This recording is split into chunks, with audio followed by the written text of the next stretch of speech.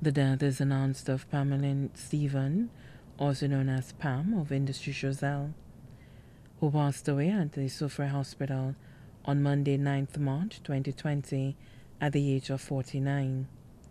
The funeral arrangements for the late Pameline Stephen, also known as Pam, will be announced in a subsequent broadcast.